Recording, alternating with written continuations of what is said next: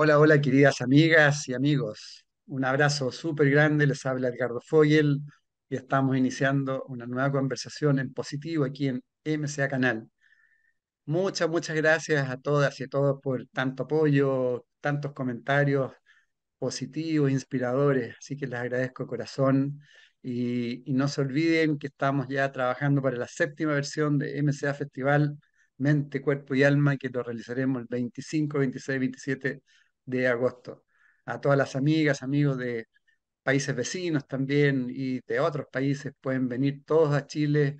Es un gran encuentro espiritual eh, con más de 100 relatores, con mucha, mucha información y contenido de sabiduría para que todos sigamos en este camino de ir construyendo una nueva humanidad. Y de construir una nueva humanidad, hoy día tenemos una gran invitada, una invitada que se dedica, una activista consciente, yo diría, hoy día dedicada a transmitirle a muchas personas para que despierte y abran los ojos. Ella es Sui, Mei Jung, chilena, vive en Chile. Ella plantea que siempre, parte de su biografía, siempre vi, crecí creyendo que la vida era dura, difícil. Tuvo una mm. infancia compleja. Fue muy cercana a su bisabuelo paterno, que él llegó a, a Chile desde China, el año 1900 en un barco de muchos meses, y en esos tiempos se demoraban mucho los barcos. Comenzó a trabajar como auxiliar de vuelo por siete años. Eh, ahí se dio cuenta que ya quería huir. A los años se casó, tuvo dos hijos eh, y dos, dos hijos, una separación muy dolorosa que ocurrió en China el año 2007. Según ella, seguía sobreviviendo, sus días eran complicados, con dolor, con angustia, con desesperación, eh, y que se reflejaba en, en, su vida. Aprendió inglés, francés, estudió tres años chino mandarín, eh, y bueno, el año 2010 vuelve a Chile. Eh, después de muchos años vino extranjero, estuvo en Tokio, regresa a vivir a la casa de los papás, deprimida, deprimida, separada con dos hijos pequeños, sin hijos, etc. Bueno, ahí enfermó fuertemente, eh, se sintió fracasada, se sentía que con la autoestima muy mm. baja, que era, no era nadie en el fondo. Y, y, después de mucha angustia, llantos, un día X con sus hijos, Diego, de 8, y Gustavo, 2 años, les dice, todo va a estar bien. Se los prometo, ella promete, ¡pum! Y desde ahí empieza a estudiar el árbol genealógico y ya ahí le cambia, le empieza a cambiar la vida y ya lo que es hoy, tiene una escuela, transmite, tiene una gran, gran comunidad en, en, distintas, en, digamos, en eh, Instagram y en otros lados. Tiene tres libros que lo ayudó Lanín García, quien fue entrevistado nuestro también. Tiene unos libros maravillosos se llaman tus, tus ancestros quieren que sanes, sanarás cuando decidas hacerlo, historias de amor, redes transgeneracionales. Bueno, un tema maravilloso, maravilloso, que hoy día cada vez se está abriendo mucho más. Eh, ya el doctor Hammer con la medicina germánica, un poco hablaba del mm. tema, Enrique Corvera, Cristian Flechet, y, y bueno, Sui Mei hoy día es una gran referente Así que para mí un honor y una mucha, muy alegría, Suimei, de, de presentarte y de decirte bienvenida a nuestro programa. Muchas gracias, Edgardo. Te pasaste con la tremenda presentación y a lo mejor, no sé, a lo mejor no suena muy bien, pero escucharla me emociona porque yo no daba un peso por mí, nunca. Siempre, no en serio, o sea, cuando siempre con ganas de, morirme, estuve hospitalizada, estuve con intentos de suicidio, estuve en coma. Y por eso cuando me preguntan, ¿es posible sanar? Yo digo con fuerza, o sea, si yo logré trascenderlo para mí, es que cualquiera puede, pero hay que trabajar. Hay que agarrar, como se dice, el toro por las astas o, o también, como decimos, el, eh, tu vida con tus manos y con esa fuerza cuando uno dice ya y se acabó, con lo que estábamos hablando antes de, comenzar. Ya no quiero más vivir una vida dormida. Así que era como el corcho en el agua. vamos para allá y si había tormenta me hundía y seguía flotando, pero, pero todos tenemos esa posibilidad de darnos cuenta en un momento cuando tocamos fondo. ¿Cómo, cómo fue tú así, tu, tu clic, tu momento así de despertar? Yo creo que muchas veces durante mi vida yo creía que estaba despertando. Por ejemplo, eh, en mi juventud leí un libro de, de Connie Méndez, ¿cierto? Metafísica, oh, iluminada, y decía, ya con esto yo ya la vida la tengo completa, o sea, con este libro, con lo que estoy recibiendo, todo va a funcionar bien.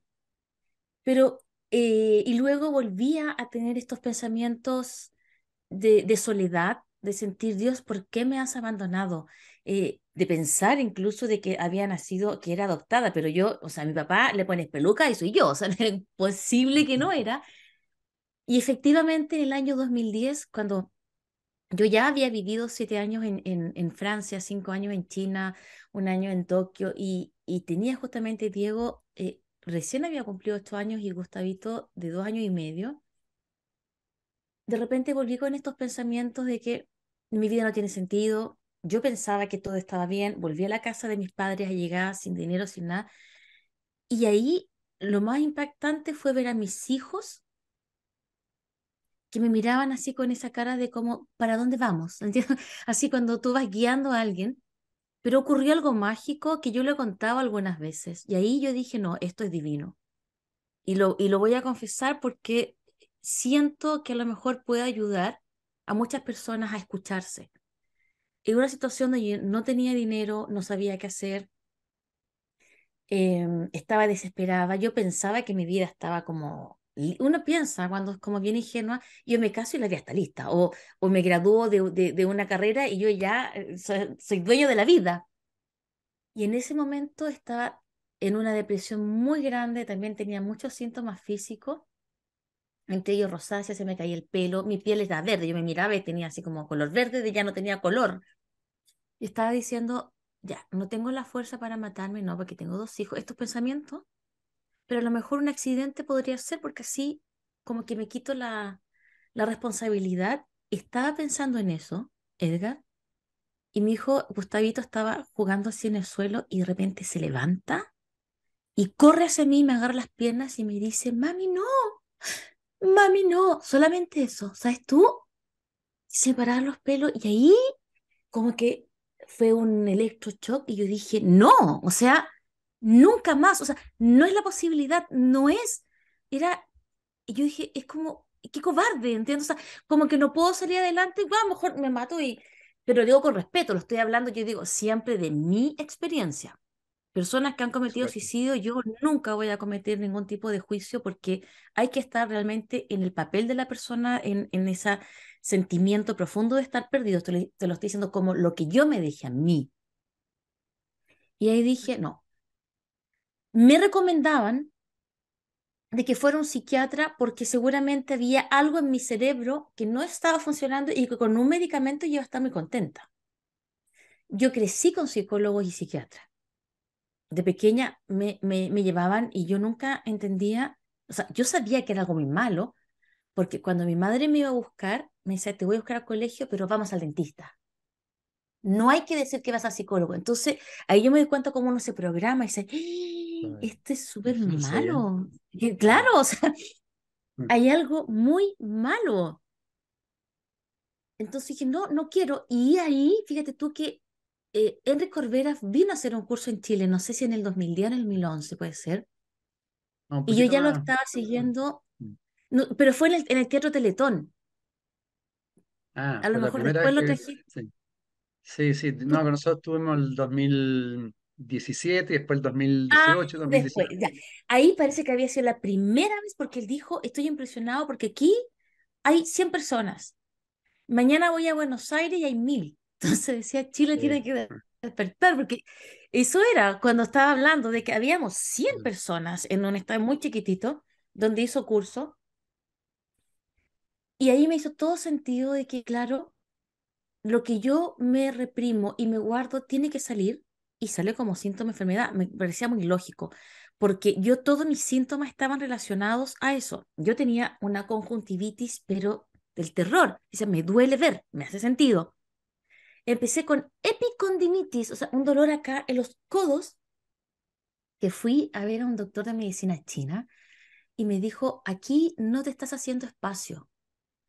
Igual como estos jugadores de rugby no es que juegan dándose codazos porque necesitan avanzar. Entonces, ¿qué es lo que no te permite avanzar? Y yo empecé a hacer este autoanálisis y ahí llegué, primero me compré online un libro de, de Anselin Schussenberger, que ella en los años 80 fue la pionera del árbol genealógico. Anselin Schussenberger, que ella le llamó psicogenealogía. Y su deducción fue que todas las familias tienen repeticiones de, de vida. Y cuando dije, tienen repeticiones, y yo empecé como a comparar distintos escenarios, claro, estaba repitiendo drama de mi mamá, de mi abuelita, pero yo decía, tiene que haber algo más. Y así fue también eh, Alejandro Jodorowsky, eh, libros que me compré de lealtades familiares, y empecé porque acá en Chile, cuando yo estudiaba el transgeneracional, nadie lo conocía, incluso en el año 2018 me invitaron a televisión y yo estaba en maquillaje y me dijeron, yo voy a hablar del transgeneracional. Y me dijeron, ah, tú eres psicóloga de los, de los transgéneros. Entonces, qué bueno, vamos a hablar de eso. Entonces dije, es interesante, pero no. O sea, también, pero no. Y lo que llama la atención a muchas personas que estudian psicología, porque hoy día nuestro diplomado llega a psicólogos, a abogados, a enfermeras, que muchos de, de los temas que nosotros vemos en transgeneracional no entran dentro de la psicología. Ahora se llama transpersonal y tienen ramos. Ahora ya saben que, que hay que buscar más allá. Pero cuando yo empecé, no. Y así fue como una cosa. Primero yo dije, necesito que atenderme. Y ahí recibí terapia de flores, terapia de reiki, terapia, y después yo estudiaba esas terapias. primero fui la, paciente, la consultante, hasta que llegué al transgeneracional evolutivo, que es un nombre que yo patenté en Chile, lo inscribí como mío, porque yo también repetía como robot el, el, el árbol genealógico. Todos tienen repeticiones, por ejemplo, con mucho respeto, Alejandro Jodorowsky dice, si te llamas igual que tu padre, cargas un, una herencia y es negativo y tienes que salir de otra parte. Entonces yo decía, no hay que meter tanto miedo, porque a veces me escriben y me dice, soy muy urgente, estoy desesperada, me di cuenta que me llama igual que la bisabuela, ¿qué puedo hacer? Yo digo, nada, pero veamos, ¿cuál fue la historia? Y, y mira, brevemente no me quiero extender para que podamos conversar, cuando es muy simple, ¿cómo yo defino la, la programación del árbol? Cuando las personas contratan un, un satélite, un TV cable, tiene distintas opciones. Un TV cable te ofrece 300 canales, otros 600, ¿cierto? Y la gente dice, ah, yo quiero más canales que son programas de televisión. Y en una familia, de los 600 canales, el marido ve 3, la mujer ve 4 y el hijo ve 3. O sea, de 600 canales, hay activos 9 programas. Y en el árbol genealógico es así. Todos cargamos el programa del suicidio, de la depresión, de la estafa, de la victoria, del triunfo, pero cada individuo del clan va a activar distintos programas. Eso quiere decir que si la bisabuela se suicidó, no necesariamente Edgar va a cargar con ese programa, ni tu hermana, aunque se llame igual, porque, porque el suicidio es un programa. Pero esa abuelita tenía más programa. No sé si, si se entiende un poco. Sí, sí. Claro. Sí, sí. Mira, voy a eh, leer rápidamente una introducción tuya de, de tus preciosos libros donde vas explicando para introducir más todavía. Eh, tú dices, en el momento en que reconocemos el trauma y liberamos el dolor, ya no necesitamos volver a repetir la historia, porque esta ya salió a la luz. Compartimos un gran alma familiar. Lo que le sucede a una persona tiene consecuencias en la vida de todos de distintas maneras. Nadie acepta reconocer abusos, incestos, abortos, violaciones, estafas, hijos no reconocidos suicidios, adicciones, abandonos, cárcel o enfermedades mentales. Mm. Siempre hay un miembro en la familia que conoce la verdad.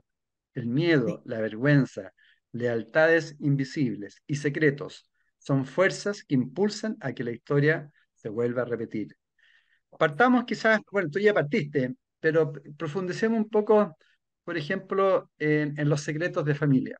aquí tú lo hablas un poco en la introducción. Mm. Siempre hay secretos de familia, ¿no? Todas las familias, todas, todas. Lo que pasa es que algunos secretos son como consentidos. Que no le digamos que, que el papá está en la cárcel, parece un, secreto familiar automático. O sea, como que todos piensan que eso es así y prefieren decirle que el papá desapareció. No sabemos del papá, no se enfermó, se fue. Entonces, muchas veces, por cubrir un secreto, generamos heridas en estas generaciones. ¿Y qué podría ocurrir, por ejemplo? O sea, en un caso drástico, no siempre, podemos ver que el niño va a tener problemas con la autoridad y que va a caer preso en honor y en lealtad. O sea, ¿por qué mi padre no me lo dijeron? Yo voy a buscar a mi papá en la cárcel. Pero cada historia se estudia. El secreto va a buscar salir para honrar. ¿Por qué para honrar? Porque siempre en mi diplomado, cuando empezamos, yo digo, lo primero que tienen que anotar en su cuaderno, sin juicio, sin crítica, sin culpa, sin drama. Hay que trabajar desde esa base. Pero los secretos, por ejemplo, las constelaciones familiares lo manejan de manera distinta, que por ningún motivo se tienen que tocar y que siempre, pero yo pienso que todas las reglas tienen que analizarse de acuerdo a la época en que se está viviendo. Por ejemplo, he conocido casos de, dos hermanos, que uno es adoptado y que el otro está ahogado porque la mamá murió y la mamá le hizo jurar y el hermano muestra signos, ¿cierto?, de no estar bien, de no sentirse en casa. Entonces, ¿qué es lo que pasa ahí? Yo digo, ¿a ti te gustaría que te contaran esa verdad o no? O sea, y, es, mamá, con todo el respeto, guardé el secreto, pero ahora es otra realidad. Si el secreto es doloroso y necesita ser liberado, yo pienso y aconsejo que tú solamente, la persona sabe lo que tiene que hacer. Uno tiene que decir, ¿qué es lo que tú crees que tienes que hacer en este caso? Dime una cosa, Sumey, eh, en, en el aspecto como práctico, eh, esto todo es energía, ¿no? Es- Esa, la información es energía, por eso Sí, se, como que se traslada, ¿no? ¿Qué- explica un poco el, el proceso, porque uno puede decir, esto es que es magia, que cómo puede ser que la misma información la pueda tener otra persona, y, por otro lado se habla que todo es energía, que la energía se va sí. transformando, hay una relación, ¿no? Yo, mira, la energía mágicamente para mí tiene conocimiento. Es como hay estas cosas del universo que uno no tiene explicación. O sea, la energía tiene una vibración de sabiduría, que sabe dónde tiene que estar, sabe, tiene como su propia magia y encanto, sobre todo el árbol genealógico. La misión del árbol es que cada miembro evolucione y que las heridas que quedaron en el pasado, no- nosotros, la nueva generación, nos hagamos cargo nos hagamos cargo para liberar ese dolor que queda atrapado en el alma familiar. Y yo te voy a dar un ejemplo que ahí te va a quedar muy claro. Mis bisabuelos viajaron de China en el año 1900 a Chile, escapando de invasiones con, con Japón. Ellos dejaron a un hijo. Na- Nadie sabe bien la historia, pero lo que a mí me llegó era que ellos venían con un bebé de dos años, un niño, y que la abuelita, la mamá de mi bisabuelo, le dijo, quiero al niño comprarle unos dulces para el viaje. Y ella se rapta al niño y quedan los padres adentro, llegan a Chile y nunca más en la vida supieron de él. Luego por la embajada lograron contactarlos por carta, pero en ese momento yo, yo recuerdo chicas que mandaban una carta, había que buscar un traductor, enviarla y no era el mismo dialecto, por lo tanto en un año eran tres cartas que se podrían mandar, si es que. Entonces, ¿cómo estás tú? Imagínate que cómo está, han pasado seis meses. Siempre mi bisabuela lloró este hijo que nunca pudo traer y tuvo consecuencias en el árbol, porque mi abuelito Ramón, que fue el primer hijo de ellos acá, siempre supo que su hermano era el hermano mayor, porque es muy importante el hermano mayor. Mi abuelo en Chile fue taxista, nunca tuvo dinero en comparación a los hermanos. Y una vez, cuando estaba más viejito, yo le pregunté, y la entrevista está en el libro, Tus ancestros quieren que sanes. Yo le dije, ¿y a ti nunca te importó eh, no tener, eh, ser tan pobre o ser infeliz en algún aspecto. Yo quería que me dijera y él me dijo, ¿infeliz? Yo soy el hombre más feliz y soy millonario. ¿Por qué? Porque tengo todo. ¿Qué tienes familia? Para él, haber tenido a sus padres, a sus hermanos y la descendencia era valioso, pero ¿qué, ¿cuál es la energía dolorosa? Yo me casé con un francés. Estuve siete años en Francia. Por cosas de la vida, lo mandan a Shenzhen, Guangzhou, que es la misma ciudad donde venían mis bisabuelos. Esto me permitió a mí llevar a mis abuelos paternos a un viaje soñado a China. Mi padre fue a China muchas veces y se no pudieron encontrar al hermano, pero sí se reencontraron con sus raíces. Fue muy, muy emotivo. Pero ¿cuál es la magia? Cuando nosotros de, de Francia tomamos el vuelo a Hong Kong y de ahí a la ciudad, había que tomar un ferry, un barco. Yo, y mi hijo Diego tenía dos años en ese momento. Yo, yo subo al barco con mi hijo de dos años.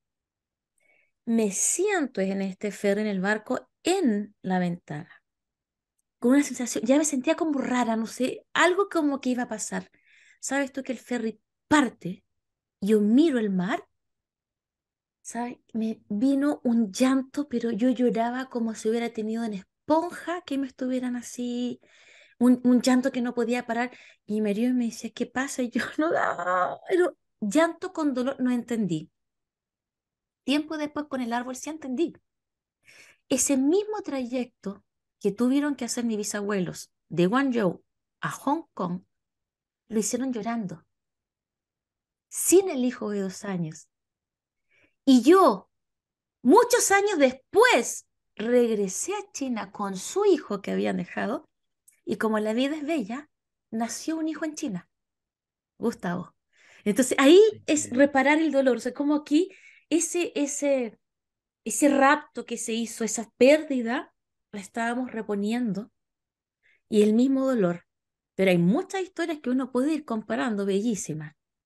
Claro, de hecho tú hablas de los desbordes emocionales. Se producen por ese tipo de situaciones que de repente así eh, invisiblemente aparece una, una, una emoción producto de algún engrama, como lo dice Enrique Corbera, una cosa así.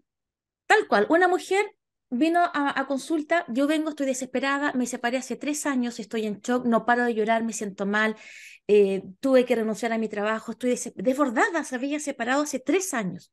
Haciendo su árbol, se casó para escapar de su casa, por lo tanto, tan enamorada no estaba, no tenía relaciones íntimas ni de pareja, incluso antes de que se produciera eh, la separación, estaban distanciados hace mucho tiempo pero ella, su padre la abandonó a los cinco años. El padre se va y de forma secreta la madre se va a vivir con sus padres, o sea, con los abuelos maternos. Ella comprende que el tema papá es tabú. Nadie hablaba del padre y creció sabiendo que no podía preguntar. Luego supo, sí, tu papá se separamos y se fue con otra mujer, pero no pasó nada. Y ella siempre es de las personas que creyó, a mí, mi padre nos dejó, pero no me afectó. No nada, claro. Cuando se separa del marido, se activa un dolor de la infancia. Ella la separación la vive como abandono. Por lo tanto, lo que había que tratar no era su separación. Y ya todas las terapias con, con psicólogo y psiquiatra trabajaban la separación. Tienes que ser mujer independiente, todas las mujeres se separan, tienes que hacer tu vida, pero no era el tema. Había que decir qué pasó los cinco años. Y se acordaba y lloró y dijo, claro, sí, estoy llorando, es papá. Era eso el dolor, no era la separación. El abandono es una de las principales características, ¿no? Que tú, que tú vas, vas- trabajando en, en el transgeneracional, ¿no? Es, aparece muy, muy seguido, ¿no? Todos tenemos abandono en mayor o menor grado. Lo- o sea, lo, lo percibimos como abandono. Si la madre tiene que trabajar mucho o el padre está ausente por la buena enfermedad, el inconsciente del niño, al no verlo, se siente abandonado. Y cuando yo me siento abandonado, tengo como un imán que voy a traer el mismo programa a mi vida porque no conozco, estoy programada a que me abandonen, porque no me he hecho cargo. Y ahí ocurren dos extremos de un programa. Tenemos a los padres sobreprotectores. Estos padres que quieren estar muy presentes, que toman todas las decisiones por los hijos, que quiero estar presente y me dicen, yo no quiero que mi hijo se sienta abandonado, pero ¿sabe lo que ocurre? El hijo, al ser tan sobreprotegido, pierde autonomía e identidad. Dice, yo no valgo nada, porque, o sea, si yo sin, sin mi mamá y mi papá, no existo. Y e, este tipo de personas, vamos a poner un ejemplo, mujeres, las mamás me dicen, yo no entiendo cómo mi hija cae con esta pareja que la domina, que la maltrata, si nosotros la hemos tratado, pero también la hemos cuidado. Porque ella, al no sentirse, porque la, la, la, la, tanta la sobreprotección y tanto el ahogo que ella busca el programa opuesto. El ahogo para nuestro inconsciente es morir. O sea, si yo te, si yo te ahogo, tú te mueres. Entonces, para sobrevivir de este, de este peligro, ella dice, si yo me sigo ahogando, me muero. Por lo tanto, lo que tengo que elegir es que me dejen. Entonces busca parejas abusivas que la dejan y la maltratan. Y todo está en el árbol. Si comprendemos esto, podemos evitar este tipo de relaciones tóxicas también. Sí. Eh, o sea, de, alguna u otra forma, todos somos como niños heridos, ¿no? tenemos que conectarnos a ese niño interior nuevamente. Hoy día, hoy día se habla mucho de eso, ¿no? Del niño interior. Todos somos. Increíble, las peleas, incluso aunque parezca absurdo, las guerras se crean y se generan por heridas profundas propias, incluso por ideales y creencias. Mm. Porque si comenzáramos a, a tomar el valor a la vida, a mirarnos como seres luminosos y que debemos protegernos, el mundo sería distinto. Cierto. Y hoy también se habla mucho de las creencias limitantes, que tenemos que salir de las creencias limitantes. Eso también me imagino que aparece todo en el transgeneracional. ¿De, de, de dónde provienen estas creencias limitantes? Desde que nacemos. Por ejemplo, si el bebé va chiquitito, está aprendiendo a caminar y se pega en la cabeza, la mamá va a ir a la mesa y le va a decir, tonta la mesa, tonta la mesa que le pega al niño. Entonces el niño entiende que alguien externo me está haciendo daño. Entonces nosotros, eh, y no vas a hacer eso porque no eres bueno. Mira qué mal lo haces. Bueno, mi creencia es que yo mal lo hago, que nunca voy a poder sobresalir. Este niño que se pega y que la mamá culpa la mesa, la silla, de adulto va a buscar a alguien porque a mí no me va bien, porque yo no logro tener eh, este trabajo, porque y además estamos llenos de creencias, solamente el escucharlo nuestro inconsciente graba las creencias. Si los padres discuten porque hay dinero, no hay dinero, pero cómo no nos alcanza, pero lo gastaste, ¿en qué lo gastaste? Estas discusiones. El niño dice, el dinero es malo, mira cómo pelean.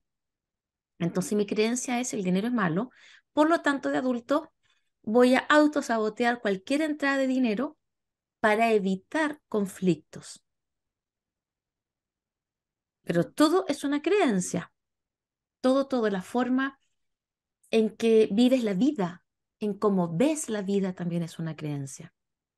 Mira, hace tiempo atrás, em, una amiguita de mi hija pasó por el patio y estaba la piscina, estaba sucia. Era invierno. Uy, le dijo, tu piscina está sucia. Sí, dijo mi hija. Y la, la amiga dijo, sí, porque la vida es difícil. Pero era nada que ver. Eh, pero digo, mira, como estas, estas cosas pequeñas que uno dice se van almacenando como dificultades. Claro, claro. Ahora, por ejemplo, lo que tú estás planteando, Suimei, eh, el tema de la prosperidad eh, y el dinero, también provienen de experiencias anteriores de, familiares nuestros, ¿no? O sea, podemos haber tenido quizás, yo me acuerdo que Enrique Orbera en un taller hablaba de eso, o una niña que, que estaba hablando, que porque andaba, ella era millonaria, tenía muchos millones, pero andaba siempre con hombres eh, derrotados.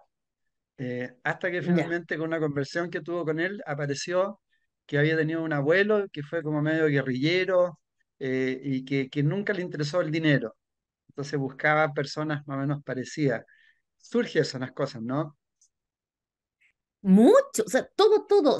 Cualquier situación que se presente como desafío está relacionado a fuertes creencias de tu árbol, a todo.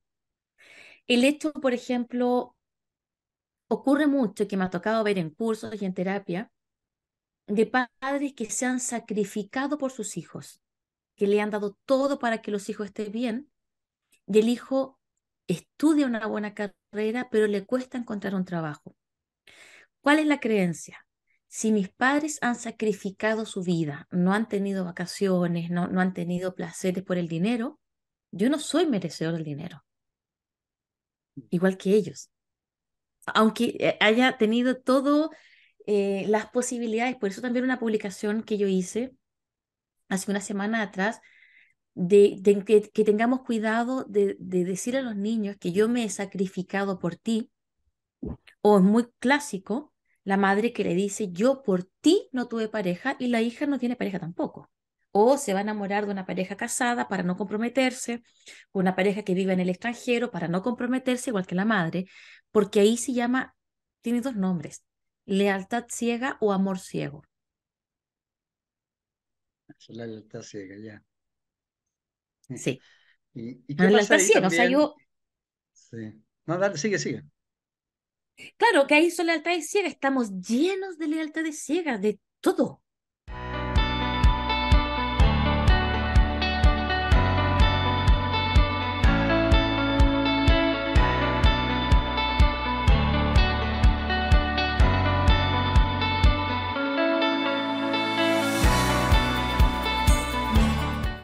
Y que eh, cuando mucho se habla que nosotros elegimos los padres, pero también los criticamos, ¿Qué, puedes decir?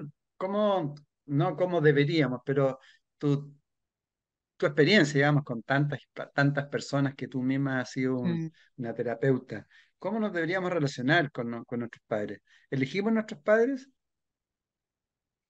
Mira, hay muchas teorías.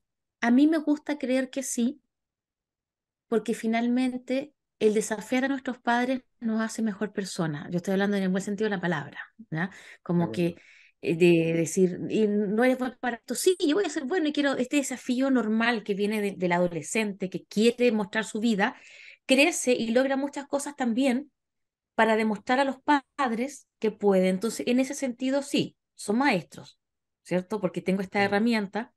Son maestros en el sentido cuando yo escribo mucho acerca del vínculo de la mamá, el papá o las madres que golpean, mi padre me dice, no, yo no estoy de acuerdo porque mi padre me golpeó y yo soy una buena madre.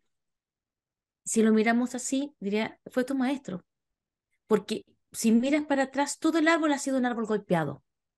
Todos los árboles, ahí hay todos los padres y madres, pero tú lo viviste tan fuerte con él que decidiste cambiar el patrón. Entonces ahí sería, este maestro me enseñó y me mostró lo doloroso que es para que yo no lo vuelva a repetir. Porque tenemos que ser mejor evolutivamente que nuestros padres. No es un pecado. O sea, yo quiero que mis hijos me superen, ojalá, todo lo que puedan, en todo. No lo veo yo como una vergüenza o quisiera que no lo hicieran. Entonces, por eso mi libro se llama Tus ancestros quieren que sanes, porque todo lo que han venido antes que nosotros quiere que tengamos más dinero, quieren que vivamos más en paz, quieren que disfrutemos más que ellos, porque es un sentimiento de amor normal. Todo lo que queremos nosotros para nuestra descendencia es lo que ha querido nuestros antepasados, pero no se había hablado, no se había expresado. ¿Por qué? Porque apenas ellos sabían que podían cambiar su vida. ¿Qué Nosotros sí, por eso caso, estamos empoderando. empoderando, exactamente? ¿Y qué pasa en el caso de las adopciones? Yo también muchas veces he escuchado, por ejemplo, que cuando uno adopta a un chico, una chica, de una otra forma tú no, no conoces la historia familiar, digamos, de, de ese chico y chica, y de alguna forma estás como aceptando el karma también de- del, del niño o mm, la niña adoptada, ¿no? ¿Qué, qué, qué, qué has visto tú en tantos casos, me imagino? sí. Yo lo he visto eh, mucho en terapia y, y tengo mi propia mm, definición con respecto a eso. A lo mejor me equivoco, pero pienso que es muy certero en el sentido vol- de volver a hablar de las energías, ¿cierto? Tenemos estas energías inteligentes que por Mm, vibración están iguales, tú sabes, la las vibraciones siempre van a estar con la misma vibración, se atraen. Claro. He escuchado personas que dicen, hoy ella, esta niña tiene pero muchos problemas de adolescencia y como es adoptada, seguro que lo heredó de sus padres biológicos. Si hacemos un estudio de esta niña y hacemos un estudio de los padres adoptivos, vamos a encontrar que los padres adoptivos han tenido el mismo conflicto, pero no lo ven. Recordemos que nadie quiere aceptar que hay depresión, no queremos ver los suicidios, no queremos nosotros pasar como los más puros y los perfectos. ¿Por qué? Porque siempre vamos a proteger a nuestro árbol. Nadie quiere que hable mal de mi árbol. Entonces yo como representante voy a poner mi mejor cara, mi mejor infancia, la mejor vida. Y también ocurre en algunos casos. Lo cierto es que cuando los niños llegan a esta familia, también llegan por un programa del árbol y por vibración. Así como mi bisabuelo perdieron este hijo y yo lo llevé simbólicamente cuando me fue a vivir a China, hay muchos hijos no reconocidos, sobre todo en el pasado, de este abuelo que tenía un, hijo con la criada, ¿cierto? Que era muy común ver en el campo. ¿Y qué pasaba después? Despedían a la criada y el bebé afuera, porque no vamos a tener otro hijo acá. Hay casos en que la mujer tomaba ese bebé y lo hacía hijo suyo, que también me tocó ver, y la, la, empleada, la criada del hogar, pasaba haciendo la criada de su hijo y era la mamá. O sea, hay mucha historia. Vamos a imaginar este caso donde la criada con el hijo son expulsados del árbol. Quedó embarazada y se va. No queremos saber de ella ni del hijo. Ahí se produce un dolor. Hay un hijo no reconocido, un hijo excluido, una madre engañada, traicionada, muy probablemente abusada, o sea, una cadena de programas limitantes y dolorosos. Ese dolor, el árbol se impregna de eso. Y siempre viene el sentimiento de justicia. Ahí viene alguien que quiere hacer justicia y podemos ver, por ejemplo, la nieta que tiene tres hijos, pero con el marido quieren adoptar y no saben por qué. Y dice, tenemos tanto amor que entregar y tenemos tan buena situación que queremos nosotros. Entonces ahí el árbol dice, bueno, ese dolor repáralo con otro niño que también fue excluido. Y ahí integran a este niño. Y cuando lo traen, el árbol, el árbol ya, ahí estamos reparando, reparando. Y curiosamente, así como hay gente que dice, no, se, se parece mucho, debe ser del árbol biológico, me ha tocado ver de muy cerca que los hijos adoptivos son los que más se parecen a los padres adoptivos, más. O sea, es, es increíble. Tanto físicamente como en carácter.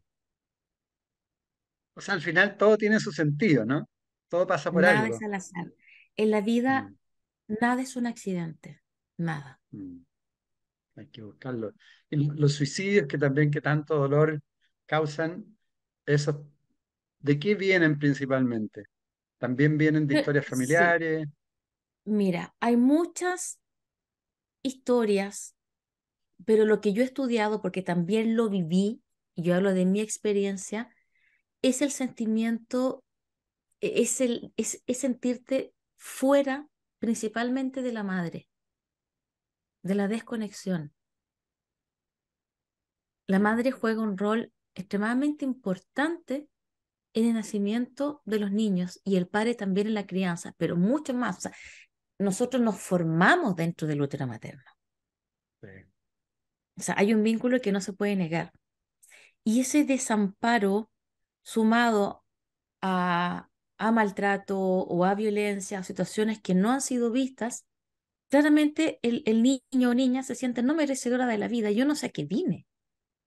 Yo realmente no, como no ha sido valorado, no valora su vida. Y es muy, muy difícil porque es también como caer en adicciones. No valoro lo que soy.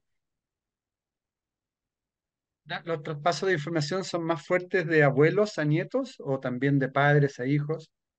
Porque mucho se habla que vienen principalmente de una segunda generación, es decir, de Sí, abuelos a hijos.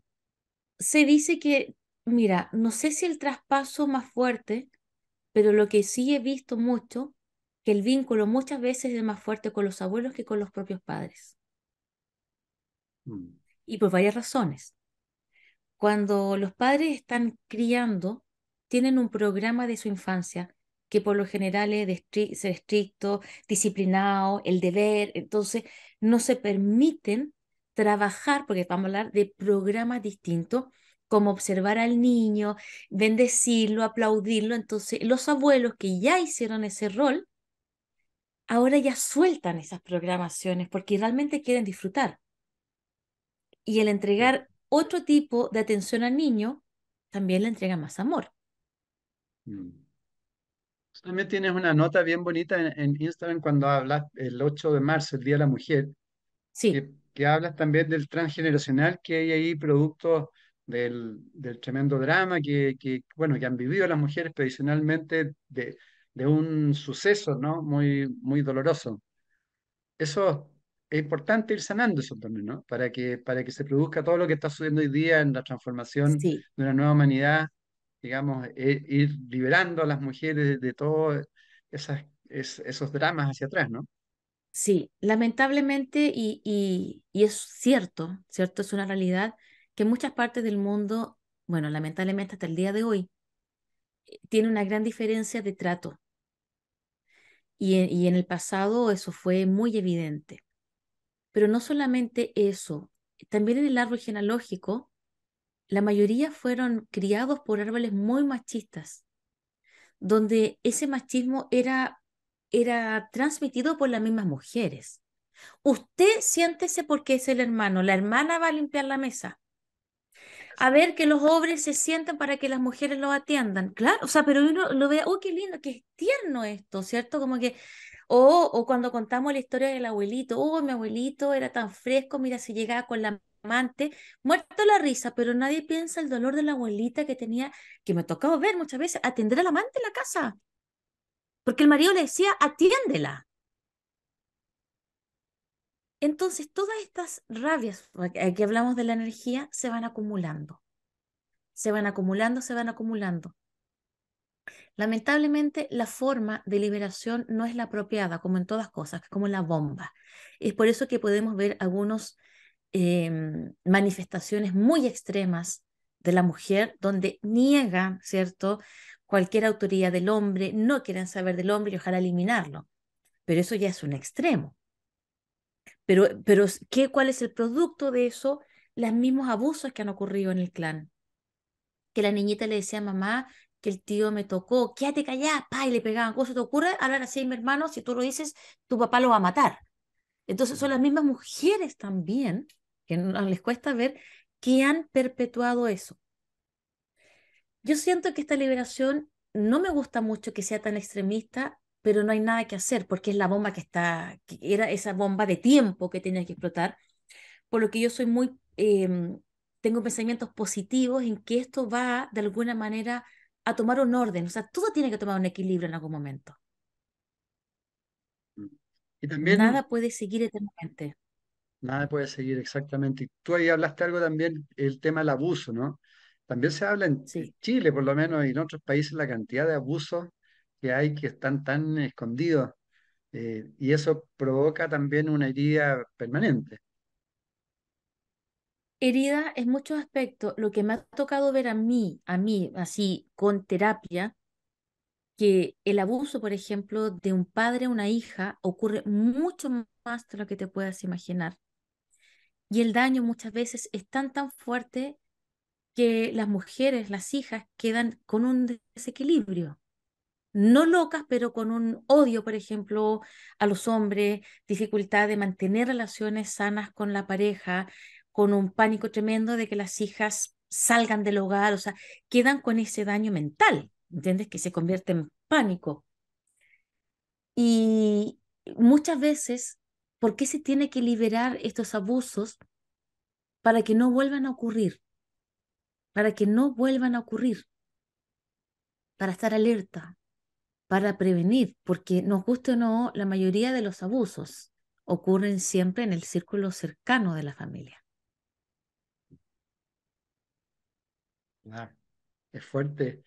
Yo creo una, una pregunta que también me imagino que te lo han hecho muchas veces, ¿es necesario que uno tenga la información hacia atrás para poder hacer un trabajo con el transgeneracional? De acuerdo, por ejemplo, existe lo que se llama genealogía. La genealogía es una rama del árbol genealógico que estudia principalmente fechas de nacimiento, pero para que tú lo tengas. Así yo, quiero tener mi árbol porque quiero saber en qué momento se fueron, cómo están, y, y te da tranquilidad saber que tienes familiares acá, que quiero conectarme para, ir, para eso. El transgeneracional, por ejemplo, hay personas que me dicen, yo me hice la terapia transgeneracional. ¿Qué descubriste? Que soy doble por nacimiento de mi abuelita y doble de mi padre. Pero eso no es nada. ¿Qué es lo que veo yo transgeneracional evolutivo? No es extremadamente importante la fecha, sino la lealtad que tú tienes con un ancestro. Porque, por ejemplo, puede ser que con mi abuela tenga, seamos doble, ¿ya? Hay cierta similitud en fechas, que ahí hay una tabla para aprenderlo. Pero mi lealtad es con mi, mi otra abuelita, con la materna, que ella fue abandonada y yo me di cuenta que yo elijo hombres que me abandonen. Quiere decir, yo puedo ser doble de mi abuela paterna por fecha, podemos llamarlo igual, pero mi lealtad está con esta abuelita que la abandonó o con el abuelito que lo estafan. Y ahí yo pude comprobar, por eso yo le di el nombre transgeneracional evolutivo y lo definí que significa evolucionar a través de nuestro árbol. Si tú no tienes fechas, tú me dices, ella, yo quiero hacer un, análisis del árbol, pero yo no tengo fechas, tengo solamente nombres, ¿qué se puede hacer? Con, la, con el protocolo que trabajamos nosotros, todo, o sea, todo, todo, todo. Podemos ver qué pasó contigo a los 16 años, por ejemplo, qué pasó contigo a los 16, qué, lo, qué es lo que estabas viviendo, qué es lo que ocurría en tu hogar cuando tenías cuatro años, un nacimiento, una separación, y va a estar relacionado al tema que quieres ver. Lo más importante para realizar este trabajo, yo te pregunto, Edgardo, ¿qué te gustaría comprender, sanar, solucionar, trascender de tu vida? Con esa información que tú me entregas, yo puedo empezar a buscar solamente en ti y en tu infancia y va a salir mucha información. Sí. Qué maravilla. Y con las enfermedades también, bueno, antes, antes de entrar a enfermedades, los nombres también tú le das harta importancia, ¿no? Sí. Pero como lo quiero definir transgeneracional evolutivo, lo vamos a mirar positivamente. Porque esa abuelita a lo mejor que tuvo depresión o que, o que le ocurrió algo malo, también tiene que haber tenido obviamente sus virtudes y talentos. Entonces, cuando tú heredas algo, es como yo te tengo una corona. Yo tengo esta corona para mí y te la paso a ti. A lo mejor esta corona me va a quedar muy bien o me va a doler, va a tener consecuencias, algo porque la estoy heredando de ti. Pero no todo va a ser negativo. A lo mejor yo digo, esta corona me gusta, pero la quiero sacar cuando viene el cambio de nombre o no me siento identificada, siento que no la merezco. Entonces también está la posibilidad de ver cómo te identificas tú. Pero obviamente yo siempre recomiendo que los nuevos nacimientos tengan nuevos nombres por esta energía de identidad, por sentirte que eres tú, principalmente por eso, más que que puedas eh, heredar un programa muy malo. Como te digo, los programas se pueden activar de acuerdo a, tu misión de vida. Tú, tú vienes con un propósito y tu hermano con otro. Pero más que pensar que hay algo negativo, es por este principio de sentirte único dentro de tu árbol genealógico, de tener tu propia identidad, tu propia energía, porque los nombres también cargan con energía propia. De todas maneras, sí. Y eso se ve, hay muchos hijos de, al final que tienen el mismo nombre, que es doctor y el otro doctor, y así Y son van todos, perdiendo la identidad, tal como tú dices. Mm, y van teniendo satisfacción que me ha tocado ver mucho. Por ejemplo, yo volé, como tú bien lo dijiste, siete años en Chile. Y tiempo atrás atendí a un piloto que se llamaba igual que un piloto muy antiguo, pero muy bueno, muy querido por la línea aérea. Entonces él tenía una misión, imagínate, llegar con el mismo nombre a este papá que fue tan querido y tan experto, y él tenía pánico. Se subía al avión y tenían que bajarlo por crisis de pánico. Y fue un trabajo muy lindo porque cuando lo tuve, yo le dije, olvídate que eres piloto. Y piensa que yo tengo una varita mágica aquí, en mis manos. Y que en el momento en que te toco, tú te conviertes en esa persona y en esa profesión. Y me dijo, ¡Ay, la tierra, la tierra, me encanta la agronomía, sembrar, caminar el campo. Y le dije, pero si eso es lo que tienes que hacer. Entonces todo el mundo le decía, claro, mire, igual que papá, piloto igual que papá. Entonces sentía que tenía que ser piloto igual que papá.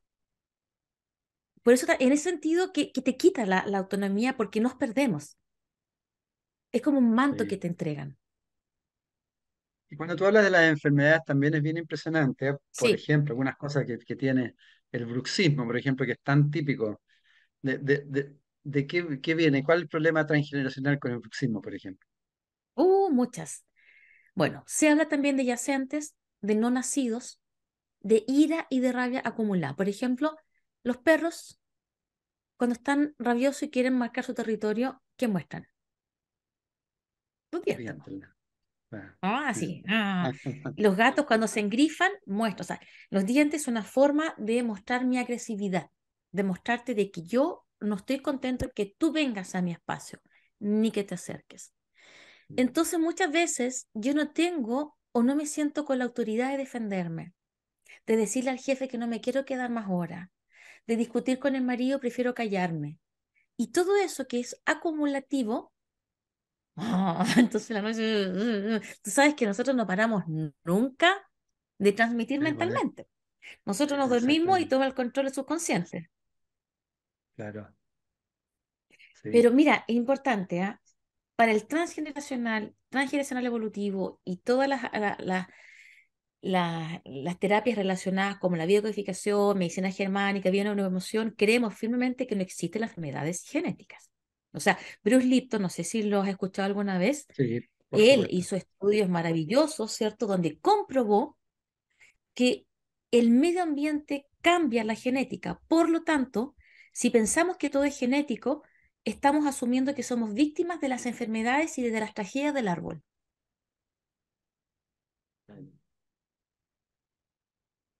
¿Y qué, qué otras no enfermedades? somos. Sí, no lo son, claro. ¿Qué, qué otras enfermedades, por ejemplo, tú hablas del dolor de garganta, entre otros, que también tienen Sí, algún, tienen un sentido, ¿no? todo. Por ejemplo, todo lo que yo no puedo expresar va a buscar un órgano que está asociado al, al, mismo sentimiento para poder liberarlo, porque eso, eso que, esa energía que yo quiero decir, que quiero hablar, queda pegada en mí, en mi energía y tiene que salir, es una bomba de tiempo, ¿cierto? Entonces, ¿qué es lo que ocurre con eso? Tiempo atrás, me acuerdo que yo hablé por teléfono con alguien y, y me dijo algo que yo dije, ay, mejor no se lo digo para, para no discutir. Y el día siguiente amanecí con la garganta así, cerrada, atrapada. Y yo dije, ¿pero por qué? Y pensé, dije, claro, lo que no salió queda atrapado ahí. Entonces, cuando tú empiezas esta dinámica de, del transgeneracional, la bioneuroemoción, es bueno porque tú te empiezas a autoanalizar y empiezas a vivir en coherencia. Tú dices, no, esto yo lo tengo que liberar, no es bueno que me quede con esto. Pero la garganta también, la tos, ¿a quién quiero alejar? ¿Con qué? ¿Con qué? ¿A quién me estorba? Por ejemplo, eh, ocurre mucho cuando estamos en, sanaciones grupales o en eventos o en los cursos. Hago una pregunta y la persona... la tos forma también parte de, de, incomodidad. No me gusta lo que me estás preguntando. Entonces yo, con la tos, ¿qué pasa? ¿Me puedes repetir? Evito escuchar. Siempre que alguien va a toser, no va a escuchar lo que le estás diciendo. Sí, qué, qué bueno, qué bonito, ¿no? Eh, es Sí, impresionante la cantidad de, de cosas que uno va, va abriendo. Tú tienes el libro, el Historias de Amor, eh, Redes sí, Transgeneracionales. También es un gran sí, tema, ¿no? El tema de los engaños, los embarazos, eh, amores no correspondidos, todo, todo.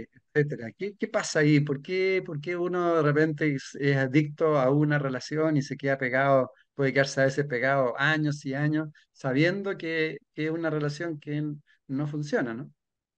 Sí, porque esto está directamente relacionado a las heridas de infancia o el niño interior. Si yo me he sentido abandonado por mamá o papá y he sido abandonado, he tenido tratos injustos donde no, no se me ha valorado y tengo esa gran desvalorización, muchas veces el estar casada me siento como bien, o sea, alguien, por último alguien, me quiere.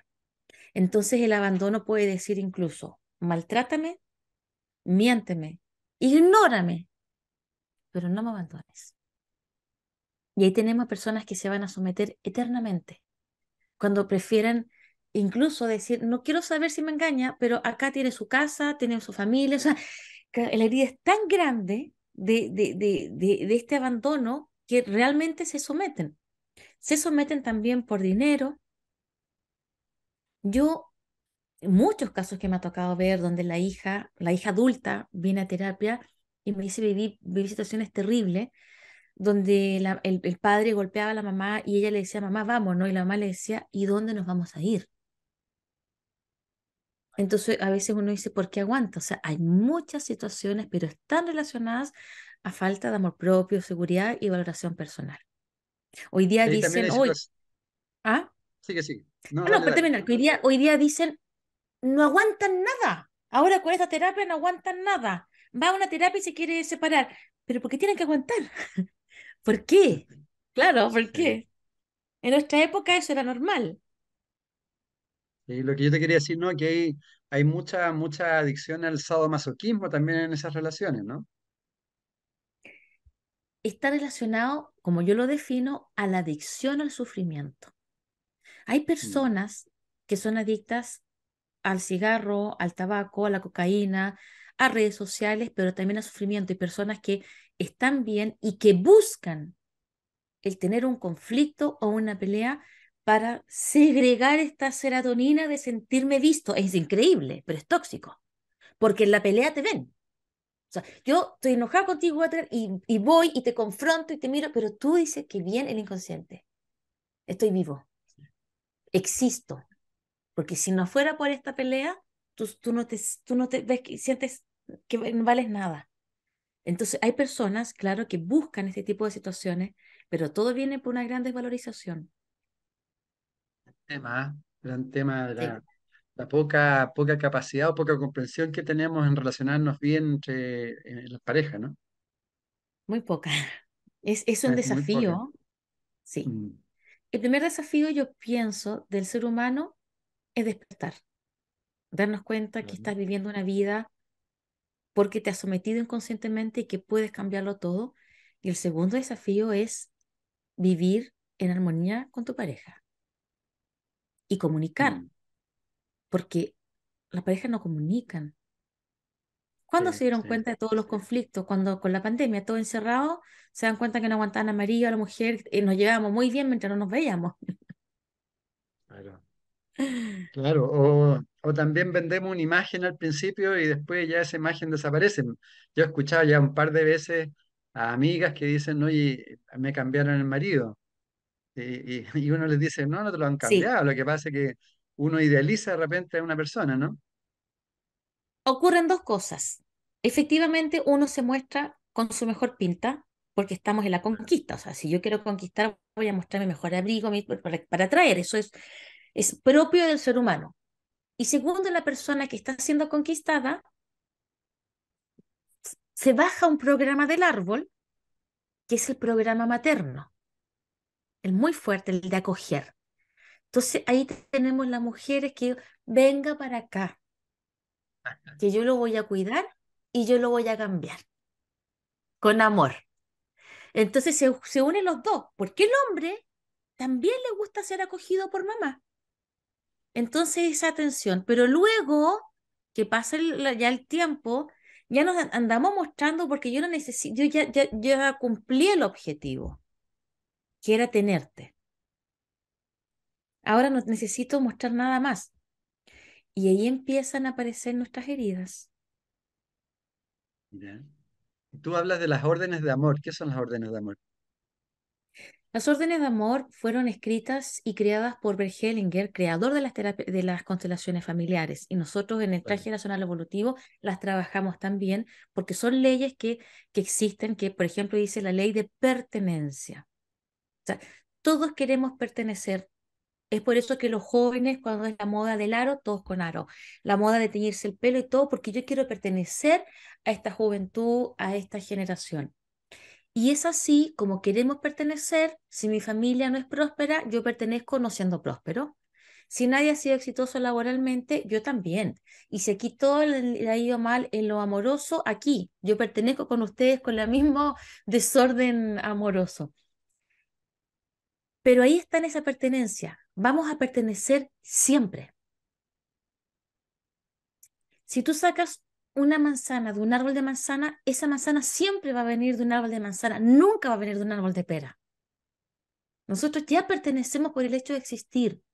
No tenemos que, que buscar esa aprobación por encajar en tu árbol y en la sociedad. Ya existes como ser divino.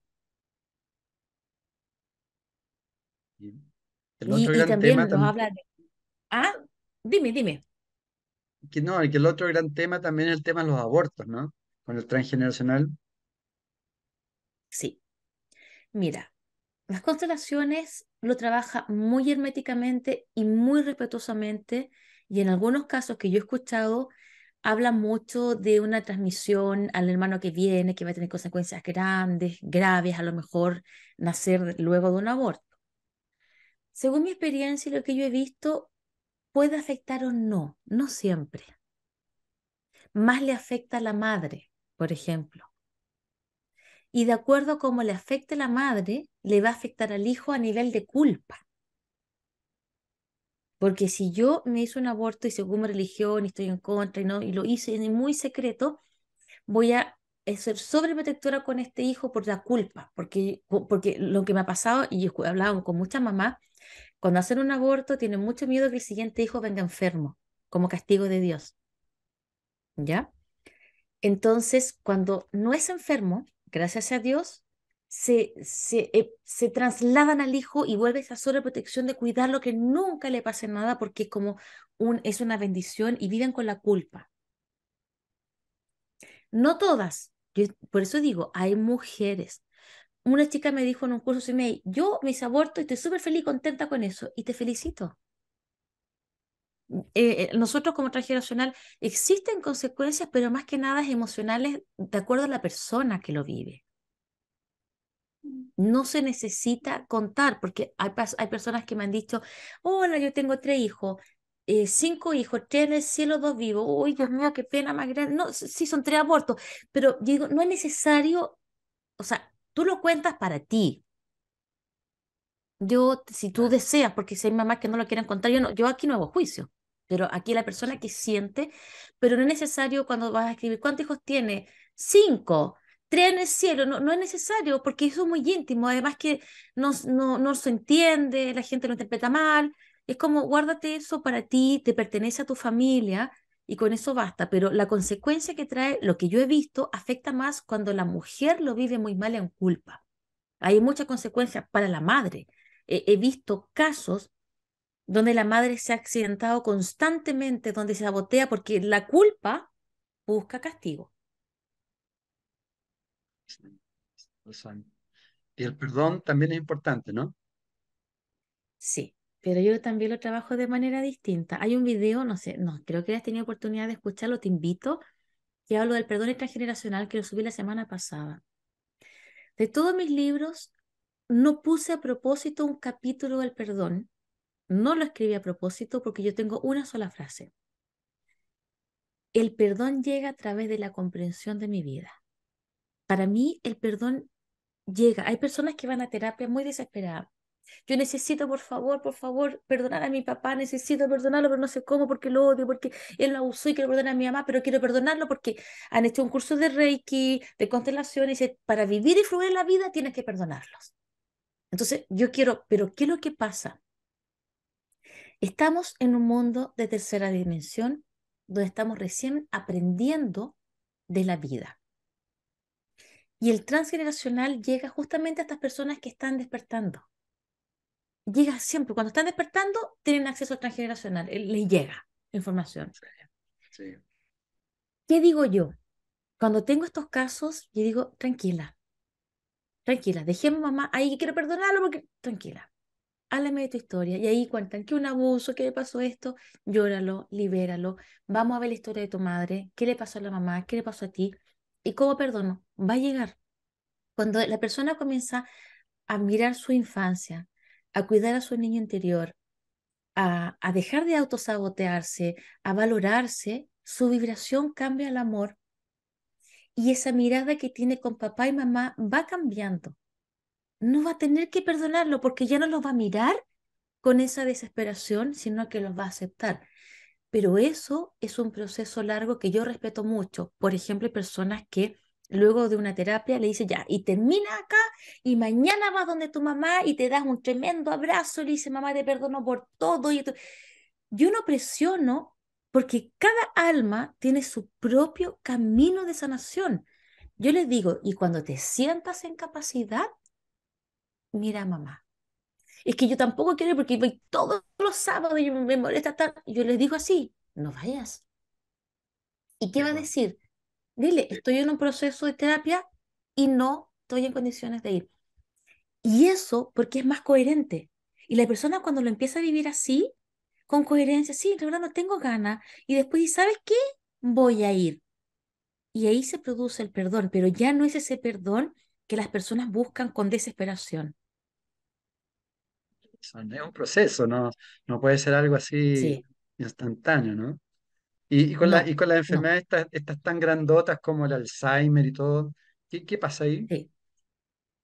Mira, Realmente hay muchos conflictos y muchas situaciones que están asociadas a la enfermedad. No hay un, cuando yo escribo algo en Instagram, la verdad es que Instagram me da muy poco espacio para colocarlo. Entonces yo redacto, yo todo lo que tú me ves en redes sociales es propio mío, yo no lo copio en ninguna parte. de información yo lo redacto y sí, todo, todo, todo, todo, yo lo siento, me siento, hago un trabajo que calce. Entonces quedan muchas cosas que, que no se pueden transmitir pero siempre coloco una pequeña frase.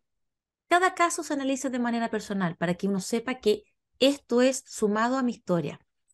Cuando han ocurrido casos de Alzheimer, está asociado también a dolores fuertes en la vida, muy fuertes, donde ha sido tan doloroso que la mejor solución para mí es no recordarlo.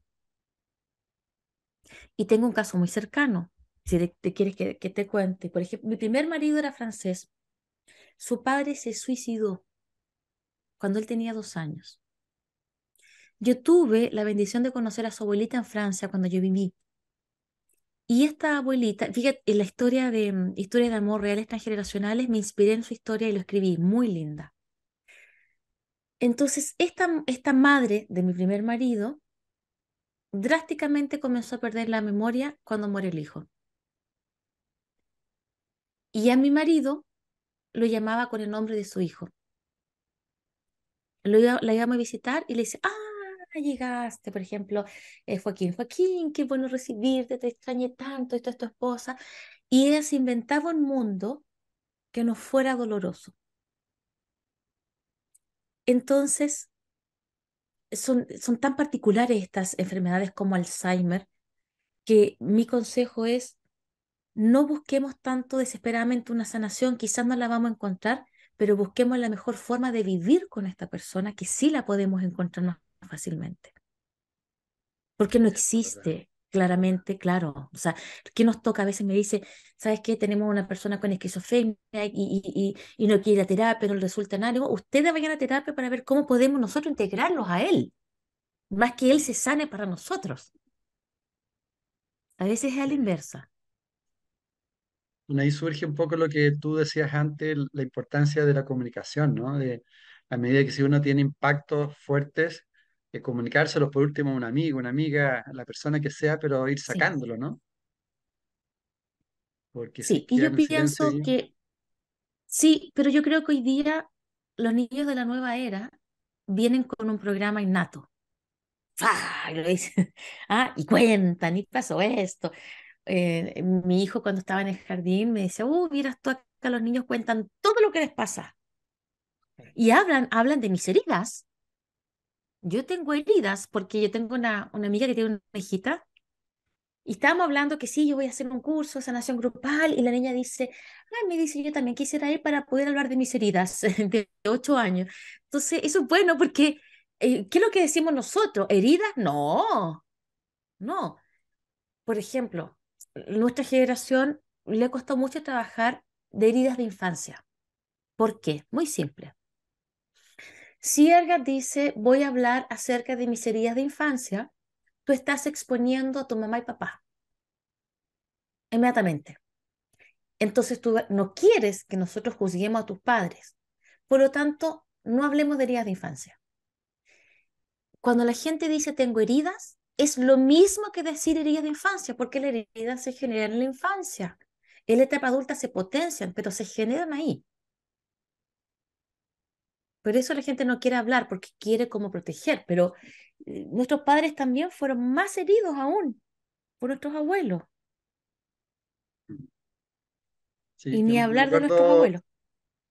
Sí, yo me acuerdo en, en estos talleres que hacía Rick, que no, no, no dejaba que las personas relataran mucho a través de la razón, Mm, sino los conectaba de alguna forma a ese tipo de heridas, pero que hablaran desde ese momento, de, de lo que están sí, sintiendo. Es así un poco, ¿no? El exactamente. trabajo. Trabajamos igual, por eso te digo que nosotros no, no precisamos tanta información, porque estando con el consultante se- vamos a estar con el campo mórfico de la persona, con su energía, y vamos a ir inmediatamente a los cinco, no me hables, porque cuando tú me hablas, em, ¿cómo se dice? Interfiere con el trabajo energético de canalización que estoy teniendo, porque tú me vas a contar una historia para proteger tu árbol, automáticamente, pero razón, automáticamente, sí. Bueno, querida Sui Mei Jung, eh, podríamos hablar horas, horas, pero para no cansarte más y también a nuestros No, amigos, es es eh, interesante, ¿ah? O sea, uno puede, uno podría, estamos en las clases nosotros también el diplomado, y cuando se acaban las clases, yo digo, uy, podríamos estar hasta las 5 de la mañana, porque es un tema en el cual nuestra alma resuena porque tiene todo el sentido. Dices, sí, claro, es así, sí, claro que es así. sí, y además, un poco tú también lo has dicho, que siempre se plantea que el camino espiritual, el primer paso de un camino espiritual o de desarrollo de conciencia es la autoobservación. Y Sí, claramente el transgeneracional, tal como tú lo planteas, es, es auto, autoobservación, es decir, el inicio de un camino todo el espiritual. rato. Todo el rato, exactamente. Entonces es Sí, fundamental. Te sí, felicito por todo el trabajo y por todo lo que aportas. Em, la pueden ver y escuchar también en, en Instagram. Tiene un, ahí una gran comunidad y tal como tú dices, va transmitiendo, pero muy certeramente. Tienes tu sitio web también, ¿no? sí, Eh, también. Y, y en YouTube estoy subiendo muchos videos eh, eh, con esta información que deberían manejarla y tenerla muchas personas. Y, bueno, y haces y, muchos y no talleres tarde, y tienes libros también. sí, todo, todo, todo eso. Todo eso. Bueno, dedícale a, a nuestra gran comunidad de positivos el último mensaje final constructivo. A toda tu comunidad positivo les quiero agradecer este encuentro de almas y de energía y lo invito a seguir creyendo en ustedes que es posible vivir mejor, que tenemos un propósito en esta vida y el propósito es vivir en plenitud y en armonía. Y gracias a ti por ser un aporte importante, por llevar a tu linda comunidad estos conocimientos para nutrir, ¿cierto?, nuestra alma y nuestra mente. Así que muchas gracias a ti por, por esta gestión de estar siempre trayendo eh, personas al despertar de conciencia y muchas gracias por haber pensado en mí. Muchas gracias a ti. Y claro, estamos entre todos construyendo una nueva humanidad que ya esta, esta humanidad antigua ya está bastante agotada y tenemos que construir una nueva y lo que tú sí. planteas es fundamental. Así que muchas, muchas, muchas gracias. Gracias a eh, ti. que sigas inspirando a tantas personas y muchas gracias a todas las amigas, amigos. Ojalá que esto les haya servido aún más para seguir el camino interno que es, es la base de, de la vida. Así que un abrazo Así grande. es. Chao, Un chao. abrazo grande. Muchas gracias. Nos vemos. Adiós. Kombuchacha es una bebida milenaria, burbujeante y saludable, hecha en el sur de Chile a base de té o hierbas orgánicas. Hoy es la única kombucha certificada orgánica de Chile. Desde sus inicios, Kombuchacha es una bebida entretenida. Es movimiento. Es vida. Kombuchacha, la forma entretenida de regenerar tu organismo.